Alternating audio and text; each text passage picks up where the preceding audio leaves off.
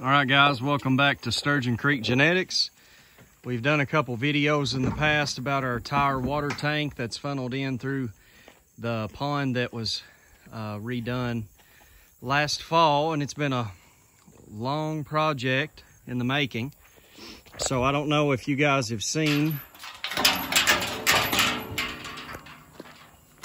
but we put in some gates. McGuire and I did today and what's going to happen is, basically we're going to have this wire metal paneling. We ended up with one extra piece, so that's awesome. But then we're going to have three boards, one across the top, one across the middle, one across the bottom. We're going to paint them.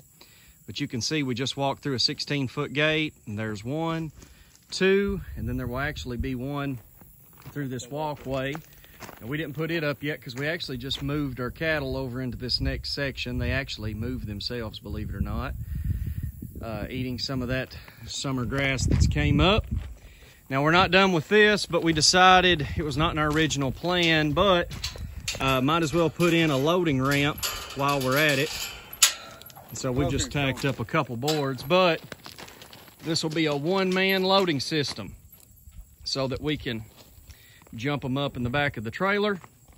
And it'll be elevated and then then that's the built-in uh, cut gate that will allow one person to be able to uh, cut it. So the water's looking good. And let me tell you it is cold. McGuire and I actually got turkey mites on us this week. And we ended up jumping in to knock some of the ticks off of us and it did really really really help but we don't have it set up just yet, but we're gonna be able to rotationally graze from this gate, that gate, a gate going across right there, across the creek, and then we're gonna be able to rotationally graze all of this 20 acres back behind us that was normally a hay field. So project's almost done. We've got our fabric, we've got our rock.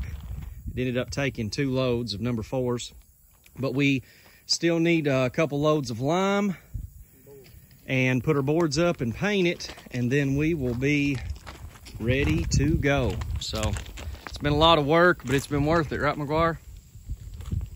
And let me tell you, our entire herd runs down here at once. And I'm going to say, McGuire, probably about a third of them try to get in there and drink at a time, don't they? Yeah, I, I think the I think they had it to where they said 12 could drink comfortably, but I've seen it's more than to that. 15 to 18 yep. in there at once. Yep. Yep. And then the others just stand behind them, and as soon as a slot opens, it looks just like a buffet line. Somebody steps up in there. So, anyway, thanks for checking it out. We'll be keeping you updated on the finished uh, water system.